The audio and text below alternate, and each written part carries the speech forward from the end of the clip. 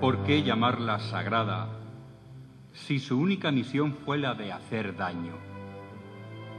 ¿Cómo puede ser sagrado algo que nos hiere, algo que nos hace sangrar, quitándonos con ello la vida? El Cristo de las aguas, nuestro Señor, hizo sagrada aquella lanza que Longinos hundió en su costado. El odio, el desprecio, la envidia, la sinrazón se clavaron sobre su cuerpo, respondiendo éste con sangre y agua. Probablemente todos hemos sido heridos en nuestro costado alguna vez, o igual demasiadas veces. Traiciones, engaños, mentiras, hipocresía, maldad, odios, desprecios, envidias, estas son las sagradas lanzadas con las que vivimos día a día, aunque con una notable diferencia.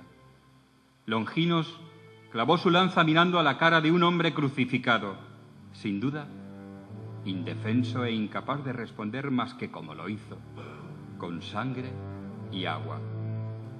Hoy, por el contrario, una lanza cobarde, una lanza empuñada por miserables sentimientos, se atreve escondida entre sombras a herirnos con la única intención de hacernos todo el daño que sea posible. Pero no vamos a derrumbarnos por eso. No podemos dejarnos abatir ante tan indeseable acción. Él, nuestro Cristo de las aguas, derramó sus últimas gotas de sangre sobre la punta de aquella lanza, sufriendo un dolor indescriptible.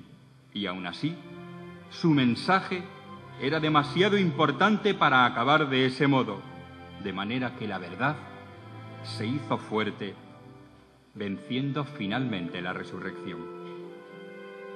No importa de dónde vengan, ni quién las empuñe, por mucho que intenten hacernos sangrar, la verdad estará siempre por encima de cualquier dolor.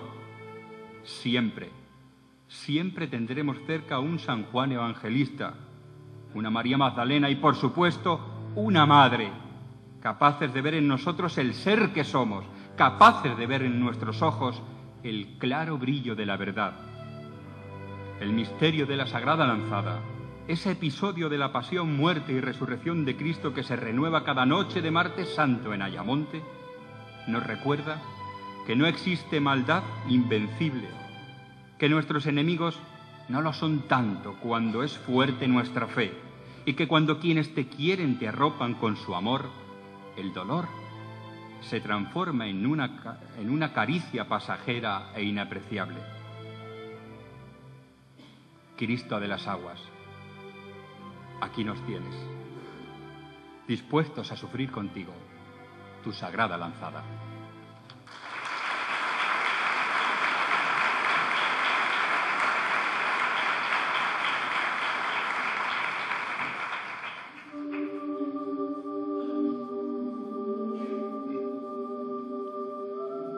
La vida no tiene sentido si no hay esperanza. Porque la propia vida es en sí misma esperanza. La esperanza se concibe, se engendra, se pare. Con amor, ilusión y esperanza se busca el fruto del vientre esperando la llegada de una criatura que nos llenará de felicidad. He ahí la vida la esperanza hecha carne.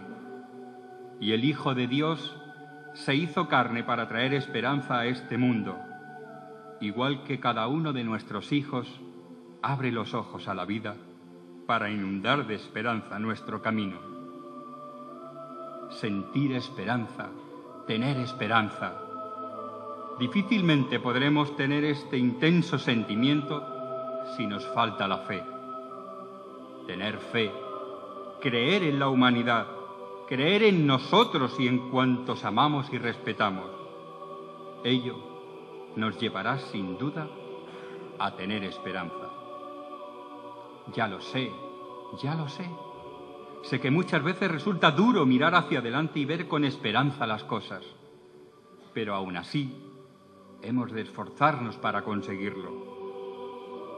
Ella, mirarla a ella, la Virgen de la Esperanza, ahí está, tras de su Hijo crucificado, viéndole sufrir en su inmensa agonía, y sin embargo, a pesar de esta dura y cruel realidad, su carita no deja de irradiar esperanza. No sabemos qué vamos a encontrarnos en el camino que a cada uno nos haya tocado recorrer en esta vida. Pero si nos cruzamos con alguien a quien se le borró de su cara la esperanza, es necesario que le ayudemos a recuperarla. ¿Cómo podemos llamarnos cristianos? ¿Cómo podemos sentirnos hermanos? ¿Cómo podemos mirar a nuestra Virgen de la Esperanza si luego somos incapaces de tender una mano a quien, por la razón que sea, la vida le ha dejado sin esperanza? Hay muchos motivos por los que en muchas ocasiones perdemos la esperanza sintiendo en ese momento que nada ni nadie podrá devolvernos la ilusión y las ganas de vivir. Es precisamente ahí donde se nos necesita. Es precisamente en ese instante donde debemos sentirnos instrumentos de Nuestra Señora, de nuestra Virgen de la Esperanza, convirtiéndonos en ese puente que logre sacar del abismo y las sombras a quienes lo creen todo perdido. Nunca está nada del todo perdido, siempre que nunca perdamos del todo la esperanza. Ella no lo hizo, ella creyó, ella lloró, sí, lloró lágrimas de esperanza y al tercer día, ella junto a su hijo también resucitó.